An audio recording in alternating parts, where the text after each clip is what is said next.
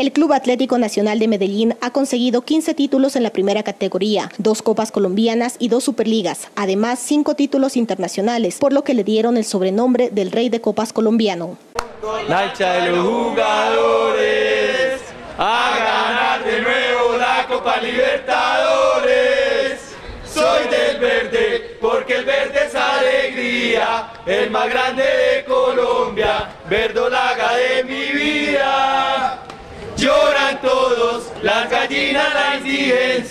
porque saben que este año los verdes damos la vuelta. ¡Vamos verdes!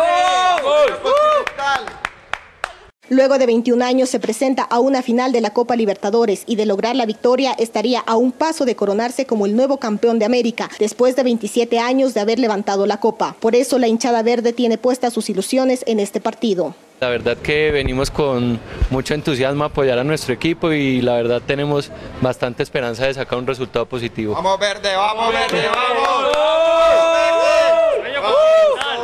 Las expectativas son muchas, ya que vemos que esta es la oportunidad de que Nacional quede campeón, ha venido jugando muy bien y yo creo que esta es la oportunidad.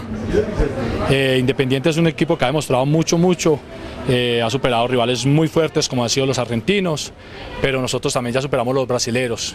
Eh, estamos mano a mano, pero yo creo que Nacional saca un resultado positivo de aquí. Traen un buen resultado, el equipo independiente es un equipo que demostró cosas, muchas cosas buenas en, la fase de, de esta Libertadores, pero vamos con toda la confianza. Las expectativas son buenas, ojalá Nacional gane y nos llevemos los tres punticos y Dios quiera salgamos campeones de la Libertadores. Que Nacional gane y esperar un buen resultado todo este, este partido.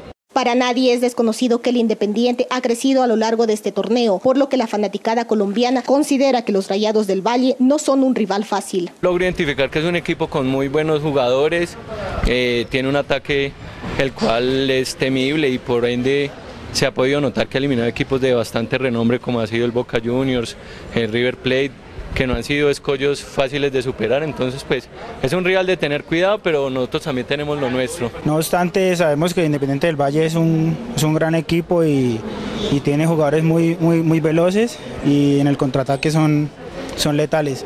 Hay que estar muy, muy ordenados en ese, en ese sentido, pero tenemos la fe puesta en, en nuestro equipo que, que hace las cosas de una manera increíble. Pues un equipo que ha sorprendido en la Copa Libertadores, que ha hecho las cosas bien de visitante, ¿no? Entonces por eso, como te decía, el Nacional tiene que ir a asegurar un buen resultado en Quito, porque ese equipo ha sacado unos resultados de visitante ante Boca, ante River, ante Pumas de México. O sea, el equipo de Independiente es un equipo muy bueno, ¿no?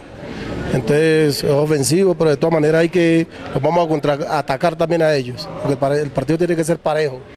En cuanto al resultado final del cotejo, existen diferentes marcadores, pero como es lógico, todos coinciden en el triunfo del Atlético Nacional. 2-0 a favor de Nacional. Pues está duro, ¿no? Vamos a ganar. Yo le pongo 1-0 a favor de Atlético Nacional. 1-0, 1-0 gana Nacional. 3-0. Esperamos sacar siquiera un 2-0 en Quito. 0-0. Con cámaras de Johnny Galvis, Mayra Coral, El Informativo.